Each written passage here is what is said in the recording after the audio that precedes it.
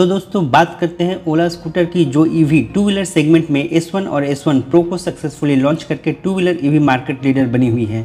और उस बादशाहत को बनाए रखने के लिए ओला ने एक और एफोर्डेबल सेगमेंट में S1 एयर लॉन्च कर दिया है, जिसकी डिलीवरी जुलाई में ही एक्सपेक्टेड है।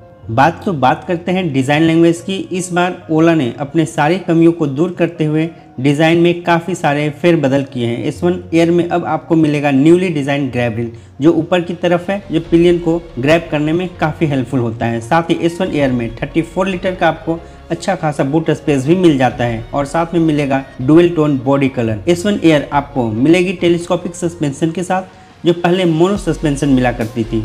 ओला अब हम इंडियन को और भी ज़्यादा बेहतर समझने लगा है। साथ में फ्लैट फुट बोर्ड भी दिया गया है।